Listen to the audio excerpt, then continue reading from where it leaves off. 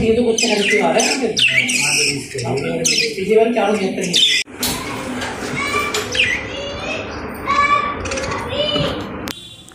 दोस्तों, हम वेलकम करते हैं आप सभी का अपने यूट्यूब चैनल त्रांचल बर्ड्स में और उम्मीद करते हैं आप सब लोग ठीक ठाक होंगे फिट एंड फाइन होंगे। आज हम आपको विज़िट कराएँगे नुमान का सेटअप एक बार फिर से। सबसे बड़ी वजह यह है कि नुमान के सेटअप में बहुत ही ज़बरदस्त ब्रीडिंग आई है। क्योंकि आपने देखा होगा कि हमने आज से पहले भी कई बार हमने नुमान का सेटअप कब से बनाया, उसके बारे में भी आपको दिखाया, उसके बाद जो मटकी लगाई और जो फ़र्स्ट ब्रीड आई, उसके बारे में भी आपको बताया। और लेकिन जब फ़र्स्ट ब्रीड आती है तो जनरली होता क्या, बच्चे एक से दो ही आते हैं। लेकिन अब ये करीब तीसरी ब्रीड है तो तीसरी ब्रीड में माशाल्लाह एक मटकी में छः बच्चे निकले और आपको हम अभी आपने स्टार्टिंग में ट्रेलर में देखा भी होगा, एक मटकी में चार बच्चे ऑलरेडी अभी हैं और दो बच्चे नीचे निकल आए हैं और दूसरी मटकी में तीन से चार बच्चे हैं इनके अभी।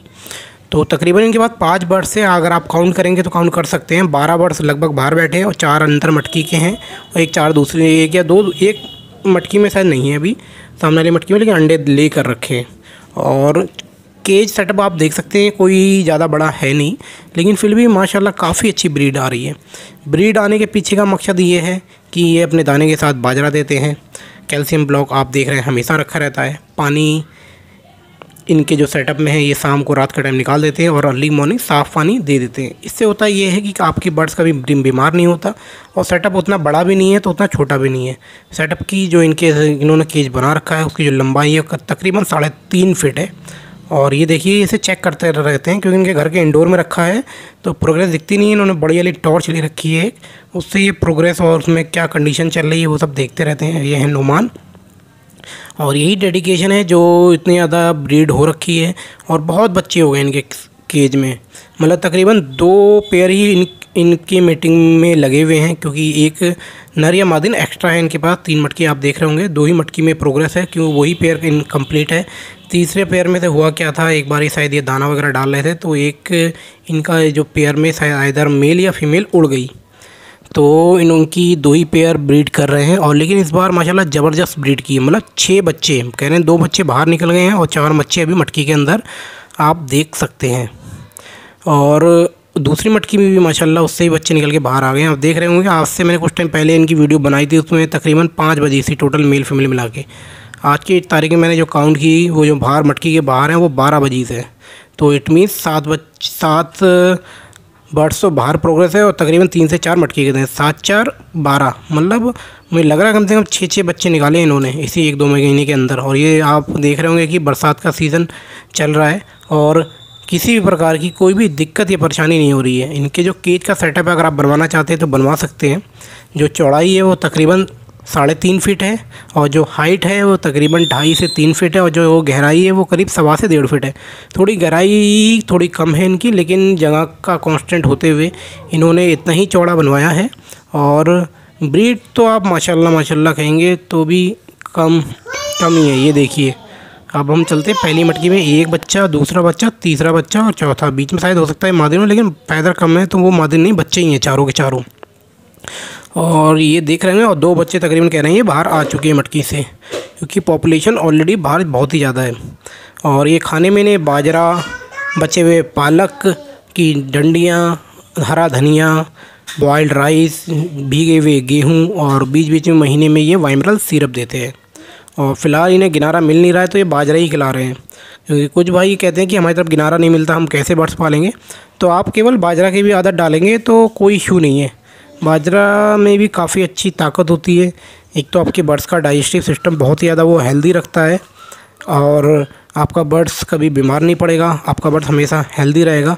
और आप इनके जो भी, जो प्योर मेल फीमेल हैं, उनका साइज़ देखेंगे। इतना बड़ा साइज़ तो मेरे यहाँ भी नहीं है। मैं अभी आपको दिखाऊँगा जो इसकी नर और मादिन है, उनका साइज़ देखिएगा पूछिए। देखिए, माशाल्लाह, चार अंडे लेकिन फ़िलहाल इसमें बच्चे और निकल चुके हैं। कह रहे हैं, दो या तीन बच्चे निकल चुके हैं इसमें अंडे जो दे रखे हैं, वो बेकार हैं।